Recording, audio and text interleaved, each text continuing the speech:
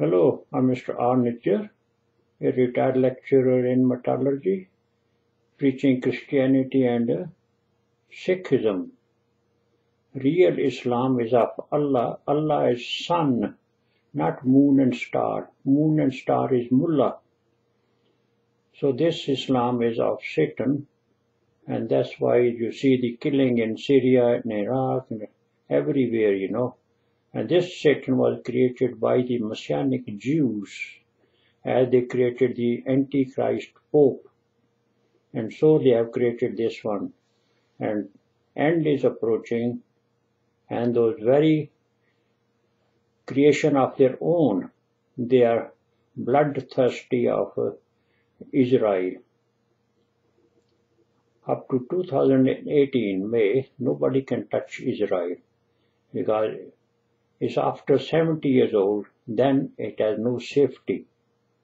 Temple was destroyed when it was 70 years old, and so will be Israel destroyed soon after 70 years old.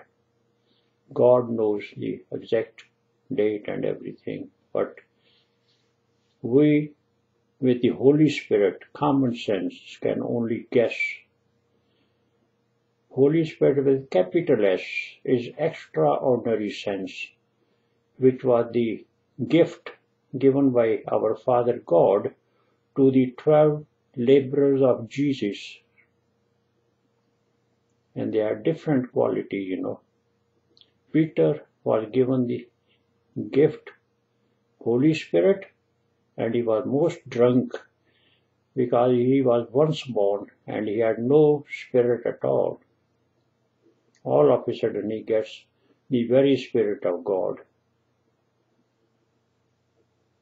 So the it's our Father is supernatural. So at Pentecost when they start preaching gospel, everybody was listening in his own language which science can't explain.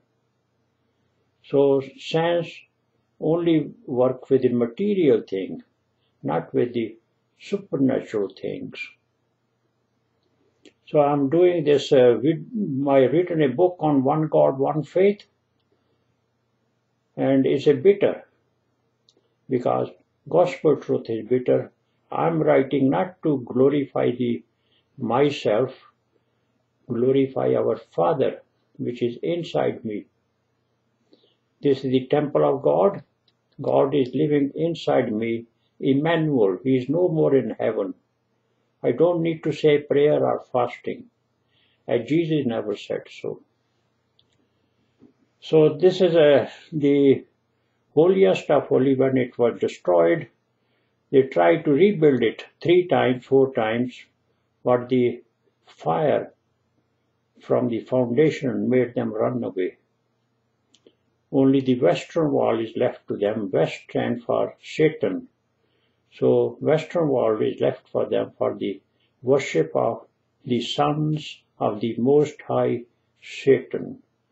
Remember Jesus when he was sitting in the temple after that woman was brought to him who would have produced a natural bastard because Jesus belonged to supernatural father and supernatural things are gospel. So he said, okay, don't do it again. Stay morally sound, you know. Just give her a warning without any hitch or without any distinction, you know. He did not rebuke her. No, he loved her, loved the girl. But when he went to the temple, then he told them to the Jews that your forefathers are super bastard fanatic devils. He used this word. But the Messianic Jews, when they occupied the church, then they wouldn't like any harsh word because if you are speaking falsehood, you have to speak sugar-coated sermons. But if you are speaking gospel truth, it is bitter. Not everybody can take it. And those who take it, they have peace of mind. Others, they just suffer. So this he told them, they said to his uh, calling them supermaster fanatic devils, they said, no, no, we are born of our legitimate parents. And we are not of born of fornication. Jesus said, what you say is true, but when you become Jew outwardly, the Jew is one who is inwardly, and you become outwardly, then you say bye-bye to your tribal father, Judah especially. Judah was the last one sheep which Jesus went to retrieve, redeem, retrieve them, you know, and bring him on his shoulder. But they killed him. He loved them, he killed them.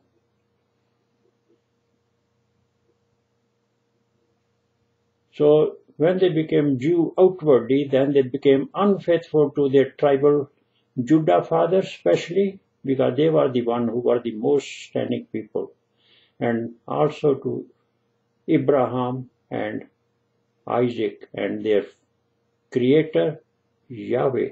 So Yahweh wasn't happy, jealous and revengeful. So he did not bring them much rain, just to sustain. And when Israel, when uh, the Jesus 70 AD then the temple was destroyed forever. And only western wall for the sons of Satan is left to worship. Sons of man worship east, facing east, and they are facing the western wall. So here is the temple gone to India with the Bethesda pool in which it is standing and in fact, the Punjab is the epicenter of the crooks. These, these people of the Middle East, they were just princes of darkness, but in India we have kings and emperors of darkness. And so the Punjab is the epicenter of the crooks. That is why the holiest of holy Amritsar complex is situated there to cleanse their hearts with gospel but they greatly love mammon. Remember when you want to wash your clothes, you use soap. Our body, you use soap. The soap to wash your heart is not the one you use for this one, it is His Word. His Word washes your heart. That is why the lightning strikes in the Punjab, in east, you know, but it shines in the West. Our gospel is much appreciated by the people of West. So I'm lucky, you know, to be in uh, England so that people of the West can enjoy the gospel. If I was in India, they would not have appreciated this gospel. So they would have, you know, even beaten me up. Bhakt Kabir, and there are so many saints, they were born in Banaras because Banaras was the epicenter of the crooks like Jerusalem was. And over there, you know, they hated the saints, the Brahmins, they hated them. And so they make the people to hate. So same way, you know, people that these collar priests who are worse than those Brahmins, they don't like me either. But in the West, you know, they do like a little bit. So in the East, they would have kicked me out. So I would not dare to speak these, uh, what I say in the West. So lucky are the people who are moved to the West and take advantage of their hospitality and also cool-headedness and preach gospel from the rooftop. If you won't do it, gospel will kill you. Because when you bury it inside, it is very dangerous. If you suffer, you blame yourself because you did not open your mouth to preach gospel. So when you suffer, then you die. If you preach gospel, It's a double-edged sword. You save yourself and save other people also. So I have written many articles, but the men of letters would not entertain them, for I have no degree in theology. I sent these articles, you know, to King's College, to the universities, to journals and other things. No, no, no. You don't, we like your uh, views, we like the article, but you have no degree in theology. Or unless some priest, you know, recommend your article, then we will take it. They themselves are spiritually blind. No idea. Only they want somebody to back my views. By my backing is of my father, not of these super donkey carrying holy books. So how can they publish it? No way. So that's why I'm publishing the book myself. And in 2007, I learned how to put videos on YouTube. And now they stand over 4,600, you know, over. And every day I think I make one video on the average, you know.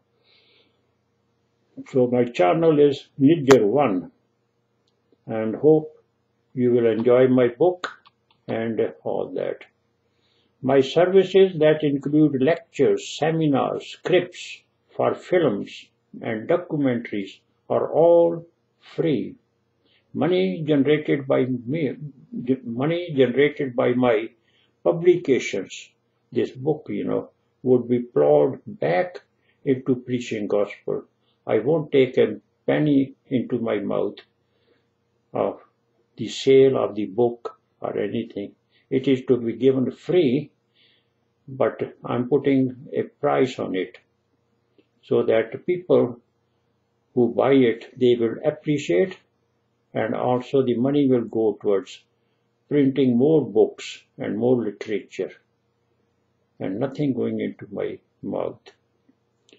Let them hear who have ears to hear, honor Christ Jesus. You need to have ears these are the ears, these are the mouth. Jesus said, unless you eat the flesh of Jesus and drink the blood of Christ, you have no part in me. You eat the flesh of Jesus, what came out of the mouth of Jesus, with this ears. This is the mouth. Take it to your heart, which is the stomach, digest it and bring it out from your own mouth, that this is what my elder brother Christ Jesus said, or Satguru Nanak Dev Ji said, to glorify our Father Elohim, Parbrahm, Allah, etc. Now, in India we had a Saint Kabir in uh, Banaras, he was born there, and he was preaching gospel. He has put lot of uh, sayings and many of them are in the holy book Adi Granth. So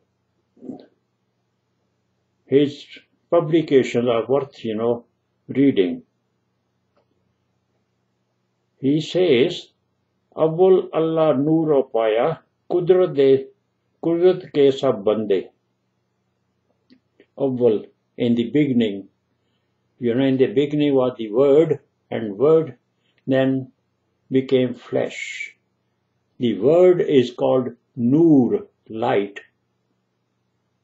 He created Noor first, Allah, our Father God. Kudrat means nature what you see with two naked eye is of belong to nature, which is of Yahweh, Brahma, or Khuda. Kudrat Khudai di, Noor Allah da. So,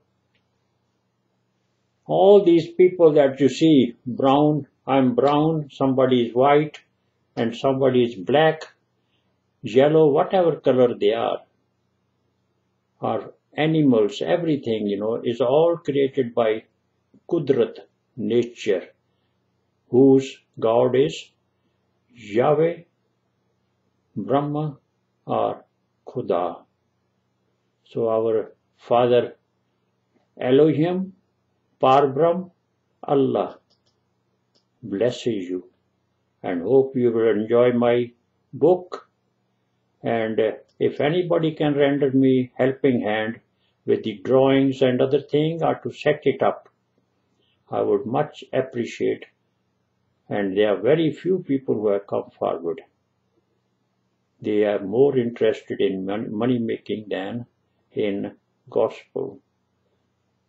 So our father allah bless you